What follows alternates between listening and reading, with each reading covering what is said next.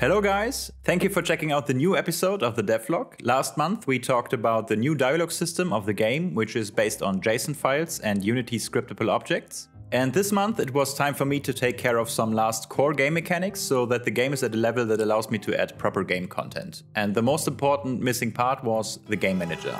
So, what is the game manager and why is it so important and special?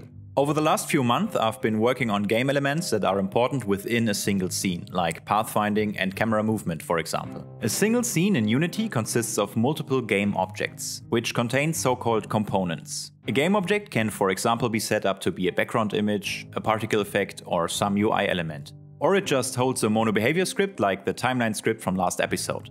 So within a scene, everything can be neatly organized by these game objects.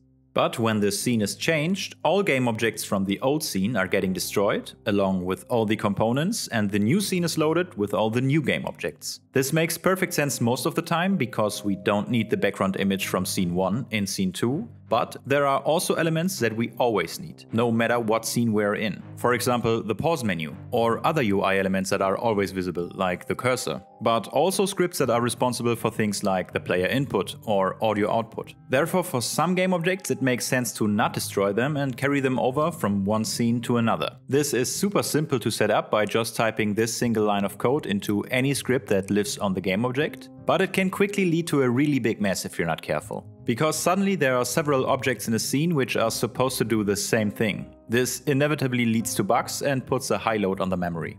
So it makes sense to keep all the elements that won't be destroyed and should be carried over from scene to scene well organized.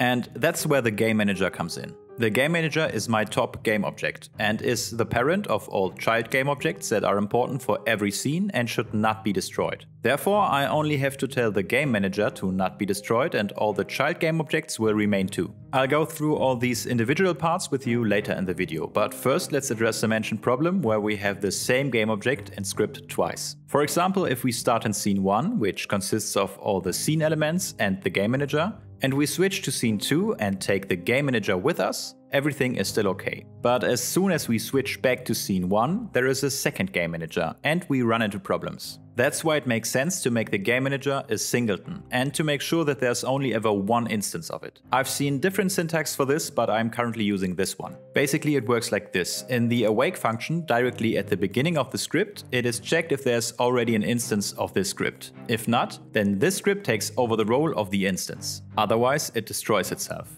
In the example from before, it would look like this. In scene 1, the game manager wakes up and checks if there's already an instance of the game manager. No, so it takes over the role.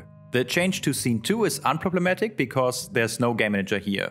Back in scene 1, however, a second game manager wakes up and looks to see if there's already another game manager. Since the role has already been taken over, the game object destroys itself. This ensures that there's always only one game manager instance. In my workflow, every scene consists of three basic layers. First, Game Manager, with all child game objects which are never destroyed and always exist only once per scene. Second, Scene Controller, which contains all the elements that make up a specific scene backgrounds, objects, NPCs, doorways, and so on.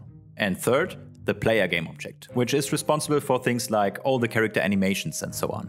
We covered most of the scripts that make up the player game object, as well as the scene-specific elements in episode 1, 2 and 3 of the devlog. So let's wrap up this devlog by taking a closer look at some game objects and scripts that make up the game manager. So first, there is a game manager script itself, which is not doing very much on its own, but it is containing the code that is responsible for all this singleton and not destroying stuff we just talked about. And it is holding references to some other important scripts that live somewhere on or on a child of this game object.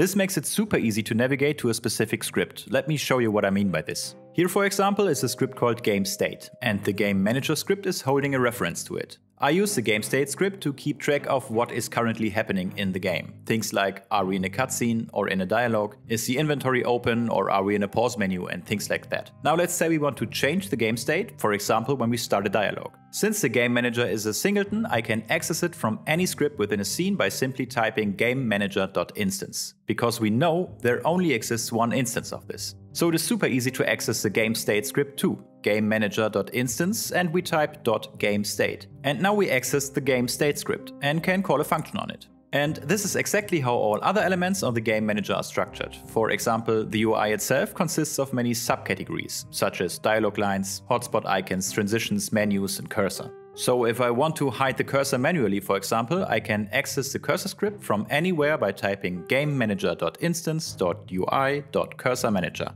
Besides the game state and all the UI elements, the game manager also takes care of inventory and memory. These scripts keep track of what items have already been picked up or used and what information the player already has and things like that. The custom input manager is responsible for handling the player input and switching between different control types like keyboard, mouse and gamepad. The audio manager is not ready yet, but it will handle the communication between Unity and the audio software of my choice, Fmod. The save and load manager is quite self-explanatory, responsible for saving and loading the game on whatever device you are playing the game on. The localization manager is something I worked on quite a while in the last weeks. It is a custom localization tool to be able to release the game in multiple languages later. And the last game object in here is the achievement manager, which will be responsible for handling the Steam achievements. Most of this stuff is already working and I guess I need to put one or two more weeks of work into these core game mechanics until we can start filling the game with actual game content.